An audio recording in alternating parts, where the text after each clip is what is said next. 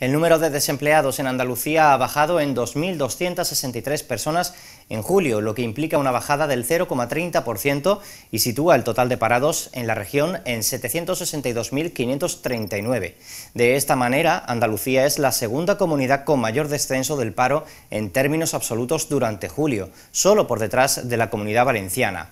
En términos interanuales, el paro ha bajado en 65.957 personas en el séptimo mes de 2022 en Andalucía, lo que representa una bajada del 7,96% respecto al mismo mes del año anterior.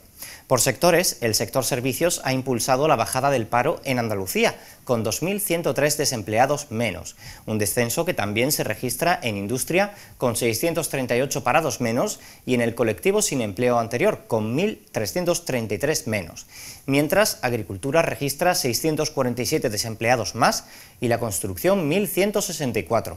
Por sexos, de los 762.539 desempleados registrados el pasado mes en Andalucía, la mayor parte fueron mujeres, con 455.718 desempleadas, mientras que 306.821 fueron hombres. Por provincias, en julio el paro bajó en Cádiz, Málaga, Huelva y Granada, mientras que en Sevilla, Almería, Córdoba y Jaén subió.